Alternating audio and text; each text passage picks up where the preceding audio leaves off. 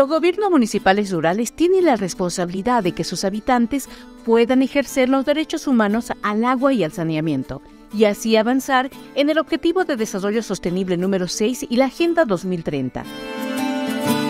Sin embargo, avanzar en estos derechos no siempre es fácil, y cuando las autoridades y técnicos de los municipios rurales quieren analizarse con una mirada objetiva, se preguntan, ¿cuánto hemos progresado en nuestro municipio?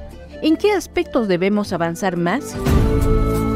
Para dar respuesta a estas preguntas, les invitamos a usar esta herramienta que les ayudará a mejorar la gestión municipal del agua y el saneamiento desde una perspectiva de los derechos humanos.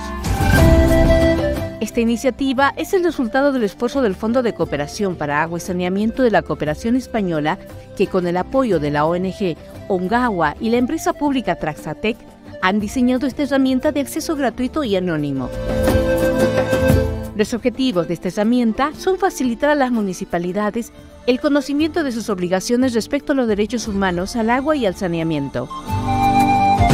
Y por otro lado, guiar un proceso de autodiagnóstico que muestre el estado de su cumplimiento, ofreciendo orientaciones sobre cómo avanzar en la implementación de estos derechos en los diferentes ámbitos de responsabilidad de la municipalidad. Legislación local, planificación, financiación, coordinación, gestión y vigilancia. Y este taller estaba bien. Nos hemos informado de muchas cosas, eh, de los derechos de saneamiento.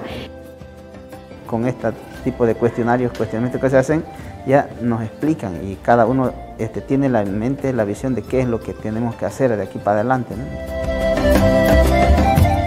Para que los habitantes de su municipio ejerzan sus derechos humanos al agua y al saneamiento básico, acceda a la herramienta gratuita y anónima desde la web del Fondo de Cooperación para Agua y Saneamiento.